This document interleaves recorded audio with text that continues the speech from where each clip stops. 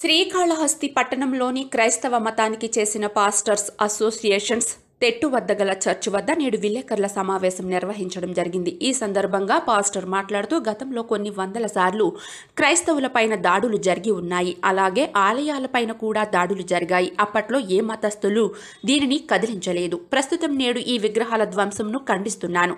ప్రస్తుత ప్రభుత్వ పరిపాలకుడు సీఎం జగన్మోహన్ రెడ్డి పైన మతమనే మసిపూస్తూ మత కల్లాలు సృష్టిస్తున్నారు అని పేర్కొన్నారు.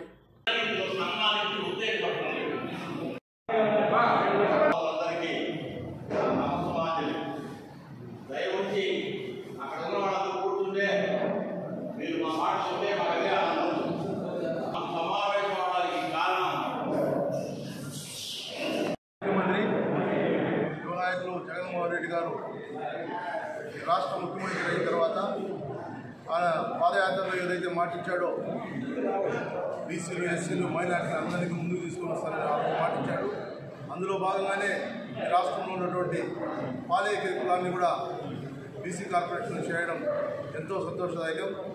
దానికి కృతజ్ఞతగా మేము ఈ నెల పదిహేడవ తేదీ మదనపల్లిలో బహిరంగ సభ ఏర్పాటు చేసుకున్నాం.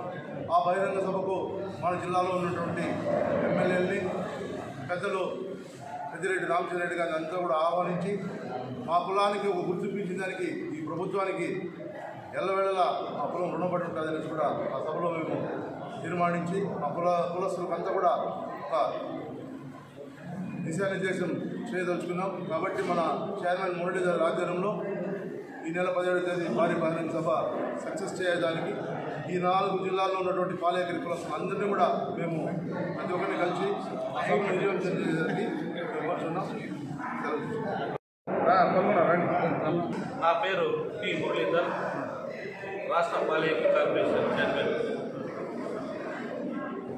మాకు మా కులానికి పాలక కులస్తుల్లో నాటి ముఖ్యమంత్రి రెండు వేల ఎనిమిదవ సంవత్సరంలో ప్రీతమ నాయకుడు దివంగత నేత వైఎస్ రాజశేఖర రెడ్డి గారు మమ్మల్ని బీసీ జాబితాలో చేర్చారు ముందంతా పాలేకలు ఓసీలో ఉన్నాము. మా స్థితిగతులను చూసి నాటి ముఖ్యమంత్రి రాజశేఖర మమ్మల్ని బీసీ చేశారు. నేడు ఆయన తనయుడు ప్రస్తుత ముఖ్యమంత్రి శ్రీ జగన్మోహన్ రెడ్డి గారు మమ్మల్ని మాకు ప్రత్యేకంగా పాలేక పురస్కరకు కార్పొరేషన్ ఏర్పాటు చేయడం దానికి కృతజ్ఞతగా మాకు ఆయన సహాయం చేశారు కాబట్టి జగన్మోహన్ రెడ్డి గారు ప్రస్తుతం ఆయనకు అభినందన కృతజ్ఞతలు తెలియజేయటకు మేము మదనపల్లిలో ఈ నెల పదిహేడవ తేదీ ఆదివారం ఉదయం పది గంటలకు భారీ బహిరంగ సభ ఏర్పాటు చేసి మాకు సహాయం చేసినందుకు ప్రభుత్వానికి కృతజ్ఞతలు తెలియజేయటకు పదిహేడు బహిరంగ సభ ఏర్పాటు చేశారు. ఆ సభ ఏర్పాట్లపై అందరినీ పిలుపు పిలుపు మా పిలుపు పాలేకి అందరినీ పిలిచేదానికి మేము ఈరోజు రావడం జరిగింది. ఈ సభను విజయవంతం చేయాలని కోరుతున్నాము